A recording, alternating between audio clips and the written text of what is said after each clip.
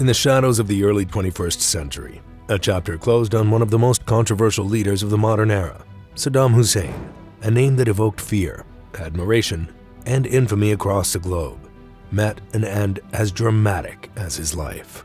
Rising to power in a tumultuous Iraq, Saddam's reign was marked by brutal suppression, wars that drew lines in the sand of Middle Eastern politics, and a relationship with the West that swung from ally to enemy.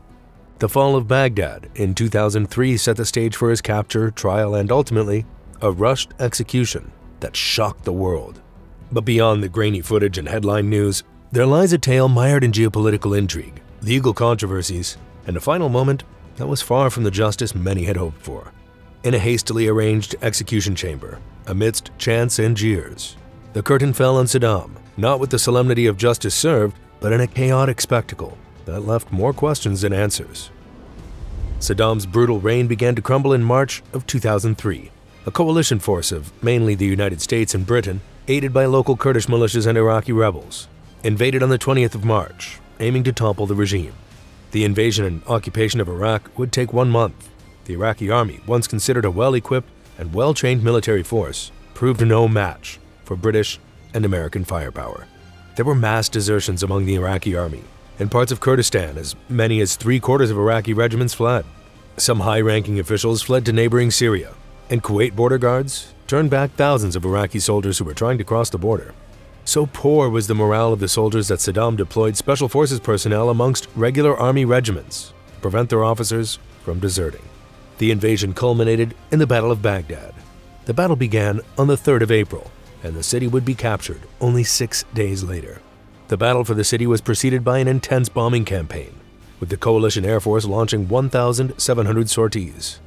Before long, American and British forces had captured the airport, multiple presidential palaces, and many important government installations. April 9th, the day the city was officially occupied, would be the last time Saddam would address the Iraqi people as president. Leaving his underground compound in northern Baghdad, he wandered the streets, surrounded by a large group of sympathetic Iraqis, greeting soldiers, civilians, and militiamen. Afterward, he returned to his bunker with his family to prepare and organize his disappearance. The next time Saddam would appear on film would be on the eventual day of his execution. With this, the Ba'athist government in Iraq collapsed, and coalition forces began the long and difficult job of creating a new democratic civilized government. Schools, courthouses, police stations, and all government offices were shut down. Many power stations and water treatment facilities also suffered and were unable to work at full capacity. Most urban Iraqis were now unemployed. There were shortages of electricity and clean water, and the city of Baghdad was thrown into chaos. Search for Saddam. With the end of the invasion and the occupation of Baghdad, the capture and conviction of Saddam became the number one priority. The American-led search began immediately and involved extensive intelligence gathering, surveillance, and military operations. The goal was to locate and apprehend and punish him for his actions and those of his regime. The first attempt was on April 10th.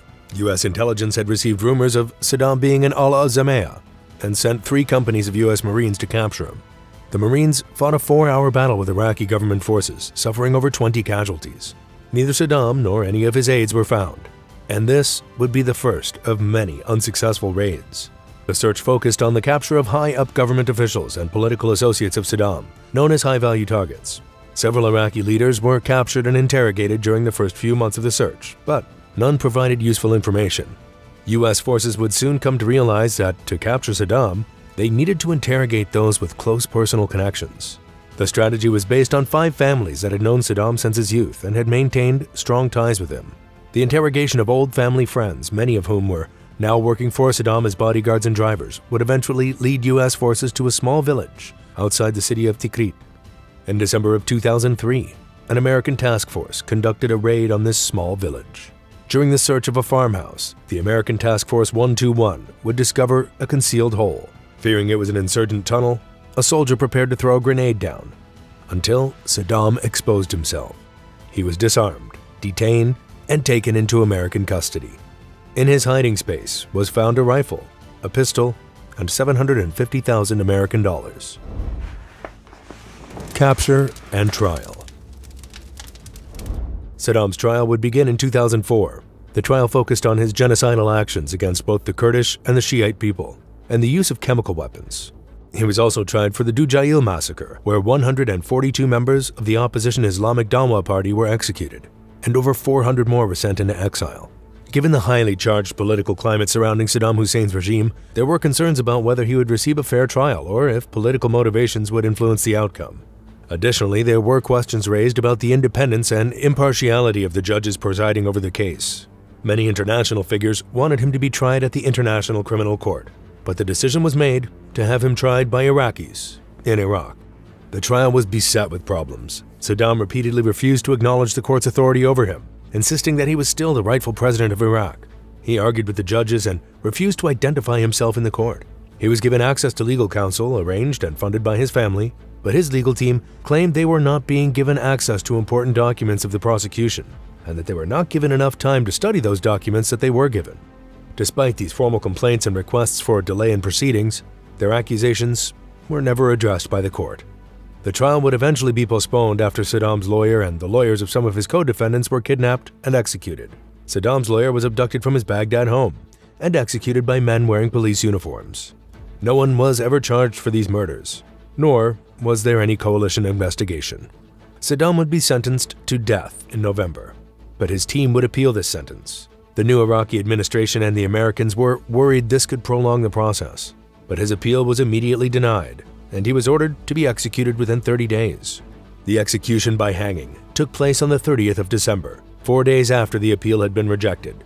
Cell phone footage of the entire execution was released, which showed a crowd of spectators jeering and shouting as Saddam was brought to the gallows.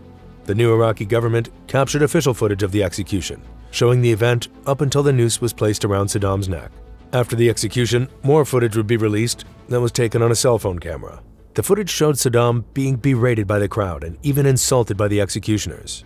Five masked men led him to the gallows whilst chanting religious slogans mocking Saddam. The execution received both praise and criticism within Iraq. Some Sunni areas mourned him as a martyr, while many Shiite areas celebrated his death. Internationally, many nations spoke out against the use of the death penalty and heavily criticized the conditions of the execution.